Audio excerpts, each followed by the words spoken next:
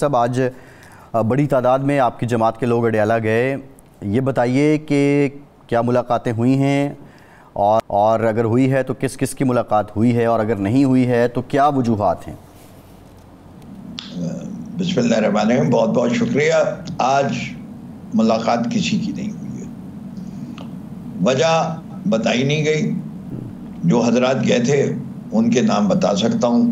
جی۔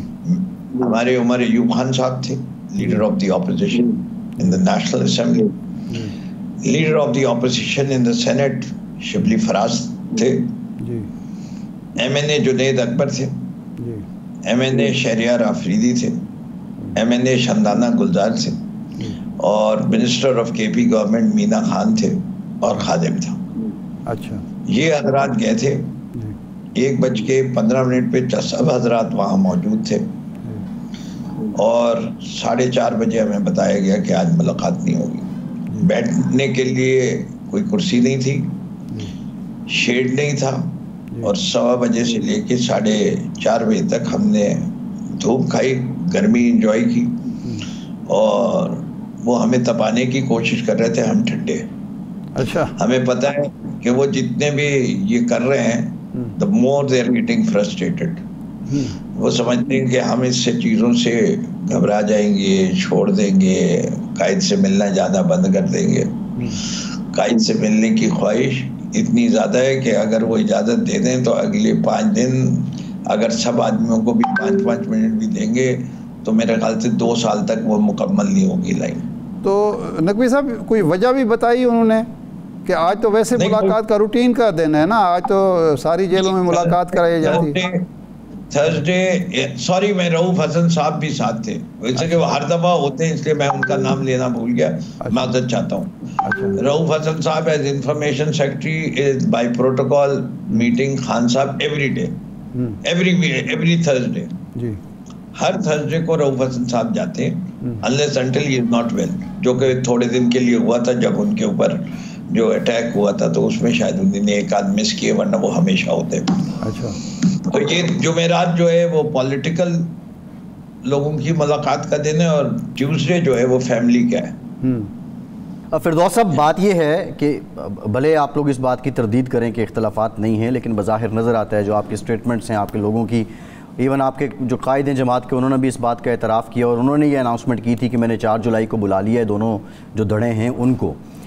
لیکن بنیادی طور پہ یہ چل کیا رہا ہے۔ فواد چودھری صاحب کو ہم دیکھتے ہیں ان کی سٹیٹمنٹس جو آتی ہیں وہ کیٹاگوریکلی کہتے ہیں کہ موجودہ لیڈرشپ جس میں بڑی تعداد وکلا کی ہے ان کی حکمت عملی ناکام ہے کہ وہ عمران خان کو جیل سے باہر نکال سکیں۔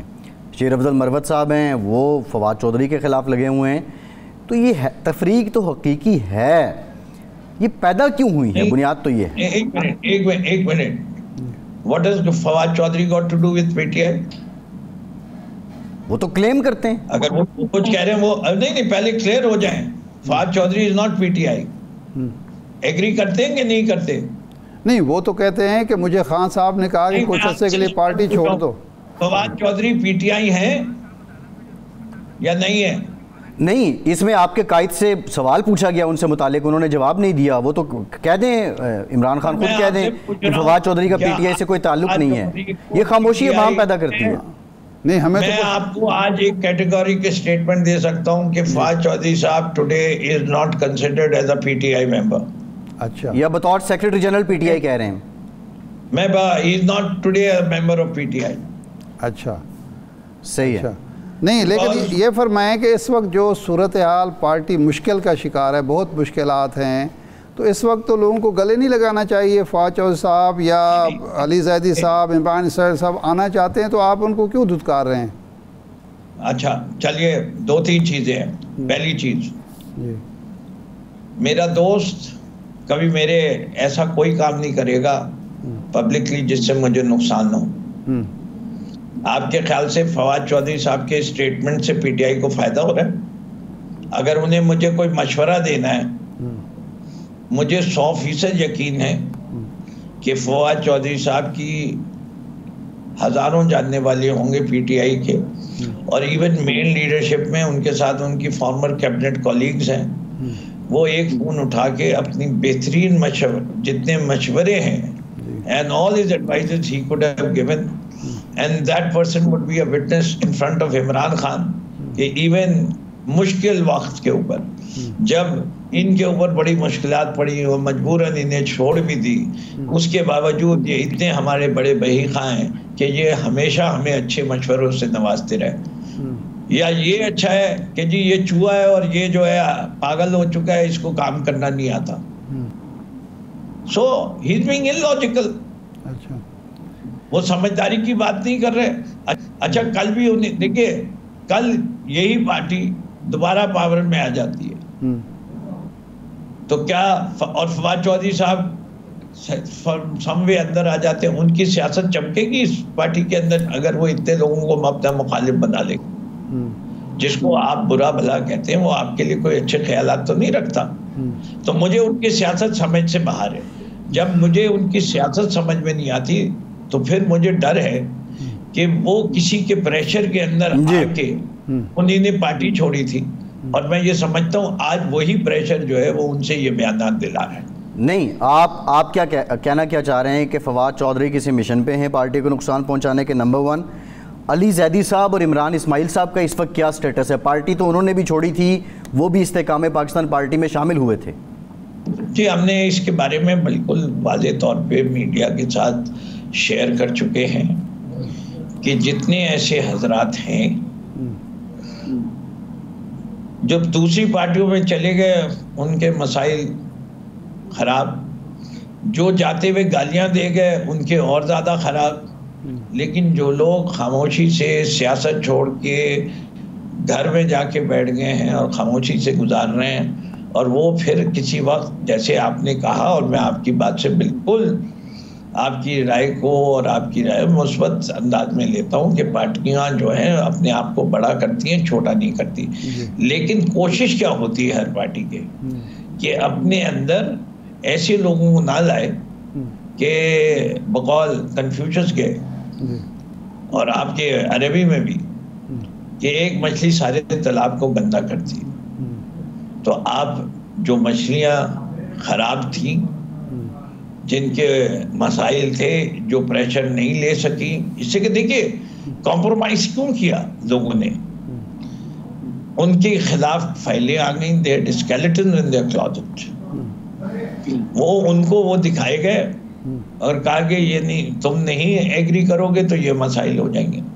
خان صاحب اور آپ لوگ ساڑھے تین سال اقتدار میں یہ دعویٰ کرتے رہے کہ ہمارے دور میں کرپشن ختم ہو گئی ہے، ہمارے وزیر مشیروں نے، کسی لوگ نے کوئی کرپشن نہیں کی۔ اگرچہ اس وقت بھی آپ لوگوں نے اپنے سیکٹری جنرل کو، عامر کیانی کو بھی ہٹایا، ظفر مرزا کو بھی ہٹایا، ایک دو اور لوگوں کو بھی ہٹایا۔ لیکن ان کو فائلیں دکھائی گئیں۔ ظاہر اسی وزارت کے دور کی، اس سے پہلے تو یہ لوگ وزیر نہیں رہے تھے، تو اس وقت اس وقت کرپشن ہو رہی تھی، جس کی وجہ سے یہ بلیک میل ہو گئے۔ دیکھیے are you going to spend time on discussing history دیکھیے، میرا جو اسٹیٹمنٹ اس وقت ہوتا ہے، اس وقت میری جو نالج ہوتی ہے، میں اس کے اوپر، جو میرے سامنے حقائق ہوتے ہیں، وہ، جو میری نیت ہوتی ہے اس پہ، اس پارٹی کی، آج بھی نیت وہی ہے۔ کل بھی نیت یہ وہی تھی اور آئندہ بھی یہ رہے گی اچھا۔ کہ ہماری پالیسیز کا کارنر سٹون کرپشن ہے ہم کرپشن کے خلاف ہیں۔ ہم میرٹ کے نظام کے لیے ہیں۔ ہم گڈ گورننس کے لیے ہیں۔ ہم ٹرانسپیرنسی ہیں۔ ہم ملک کی جگ جہتی چاہتے ہیں۔ ہم جو ہے اس ملک میں امن چاہتے ہیں۔ یہ ہماری کارنر سٹون پالیسیز ہیں۔ اب کوئی واقعہ ہوتا ہے؟ اچھا کسی کے ماتھے پہ نہیں لکھا ہوتا۔ یہ تھرم بخار کا ٹیمپریچر نہیں ہے۔ جیسے کسی کے آدمی کے اوپر شک بھی آتا ہے جیسے عامر گیانی پہ آیا یا ظفر صاحب پہ آیا ہم نے حفظ ما تقدم کے طور پہ ان کو علیحدہ کر دیا۔ نہیں آپ فردوس صاحب فردوس صاحب سوال یہ ہے کہ بنیادی طور پہ فواد چودھری صاحب پرٹیننٹ کوئسٹن ہے اسٹریٹ کوئسٹن ہے۔ آپ کیا سمجھتے ہیں کہ فواد چودھری صاحب نے کرپشن کی اور ان کا گمان تک نہ ہوا کہ انہوں نے کرپشن کی اور وہی کرپشن سے متعلق فائلز ان کو دکھائی گئی جس کی وجہ سے انہیں پیچھے ہٹنا پڑا؟ I do not know. I do not know. I will not put any charge of which I am not sure. اس سے کہ سب سے پہلے جس محکمے میں وہ تھے اس میں پیسے دینے کا تو الزام آتا ہے پیسے لینے کا الزام بہت کم آتا ہے انفارمیشن ٹھیک ہے نا؟ تو اس لیے میں فضول کا چارج کیوں لگاؤں؟ میرے فواد چودھری صاحب کے اس وقت کے رویے سے بہت سارے اختلافات ہیں۔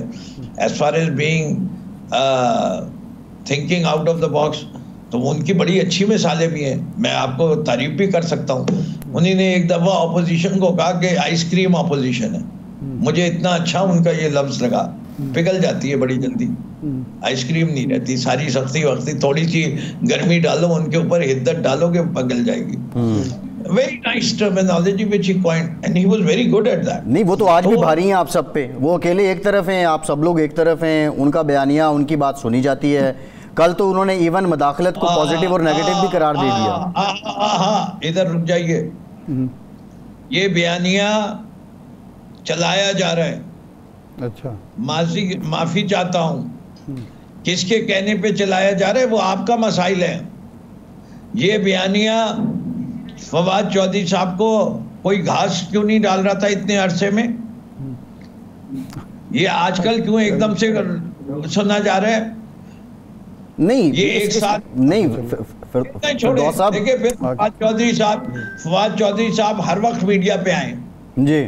فواد چودھری صاحب irrespective of whether he is in power or not ان کو اینکر بنا دے۔ ہمیں کوئی اعتراض نہیں ہے۔ فواد چودھری اس Fawad Chaudhry is a talented man میں تو مجھے تو ان کے نہیں وہ تو اس سلسلے کی کڑی تھی نا فردوس صاحب جس طرح آپ کو حکومت دی گئی تھی۔ دیکھیں دیکھیں بڑی سیدھی سیدھی بات ہے۔ ہوں گے ہم سے بہتر ہوں گے۔ ہم خوب سے خوب تر کی تلاش ہے۔ انشاءاللہ بہتر ہمارے پاس بھی کوئی آ جائے گا۔ کوئی یہ میراث نہیں ہے کہ انہی کے گھر رہے گی۔ علم اچھا یہ طریقہ ہر ابھی آپ یہ دیکھیے ہر آدمی کو وہ اللہ میاں نے قسمت دی ہے۔ کبھی مواقع آتے ہیں۔ شیر افضل مروت صاحب تمام لیڈرشپ ہائیڈنگ میں تھی۔ خان صاحب کے کہنے پہ تھی۔ ٹوٹل ویکیوم تھا۔ اس ویکیوم کے اندر کدھر پہنچ گئے شیر افضل مروت صاحب؟ He became the darling of the media کس چیز کے اوپر؟ نہیں کیا شیر افضل مروت بھی آپ کیا کہہ رہے ہیں؟ ان کو بھی کوئی پشت پناہی حاصل ہے۔ میں کہہ رہا ہوں دیکھیے ہر آدمی کے مراد شہید ہیں ہمارے۔ ان کے بولنے کا انداز لوگوں میں بڑا پاپولر ہو گیا۔ It is not me and you to جج یہ پبلک جج کرتی ہے۔ صحیح ہے۔ میں یہ بات کہہ میں یہ کسی کو بھی کوئی نیگیٹو کرنا اللہ میاں نے تو من تشا و تو من تشا